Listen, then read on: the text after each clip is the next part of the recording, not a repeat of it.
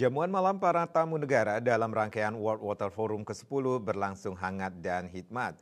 Presiden Republik Indonesia Joko Widodo menyambut tamunya di welcoming dinner tersebut di Taman Budaya Garuda Wisnu Kencana atau GWK Minggu 19 Mei 2024.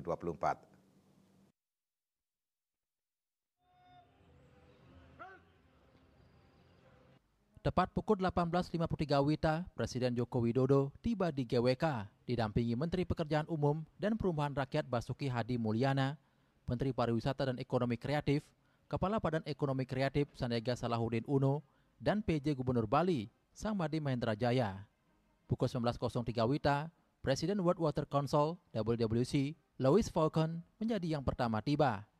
Mengenakan kemeja tenun endekas Bali berwarna marun berpadu celana hitam, Falcon diterima Presiden Jokowi di panggung penerimaan tamu.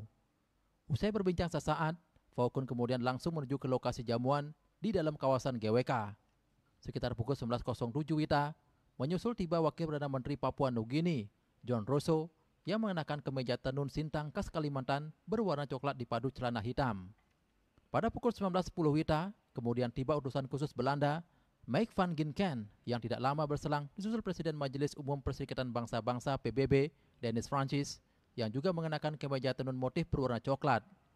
Kemudian pukul 19.13 Wita, tiba utusan khusus Prancis, Barbara Pompili, dengan mengenakan baju putih berpadu selendang motif tenun dan celana coklat. Selanjutnya pukul 19.17 Wita, menyusul tiba Menteri Energi dan Infrastruktur Persatuan Emirat Arab, Suhail Muhammad Al-Masrowi yang selang beberapa saat diikuti tiba bersama istri Wakil Perdana Menteri Malaysia, Dato Sri Haji Fadilah bin Haji Yusuf. Pada pukul 19.21 Wita, hadir mantan Presiden Hungaria, Janos Eder, dengan menggunakan batik senada berwarna coklat bersama istri. Pukul 19.22 Wita, tiba Perdana Menteri Tajikistan, Kohir Rasul Soda, disusul kemudian pukul 19.25 Wita, Presiden Sri Lanka, Ranil Wickremesinghe.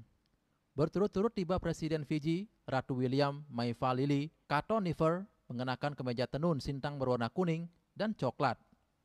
Presiden Jokowi kemudian menerima kedatangan Ketua Dewan Perwakilan Rakyat DPR RI, Puan Maharani pada pukul 19.30 Wita yang mengenakan baju putih berpadu rok kain batik coklat. Usai seluruh tamu World Water Forum ke-10 masuk ke ruangan jamuan, Presiden Jokowi kemudian menyusul dan memberikan sambutan selamat datang. Kepala negara berharap para tamu menikmati jamuan hidangan dan pertunjukan khas Indonesia yang telah disediakan. Alunan seni musik dan tarian khas budaya Indonesia mengiringi makan malam yang dihadiri 2.300 undangan, yang terdiri dari 500 undangan Very Very Important Person atau VVIP. Saputra Bali TV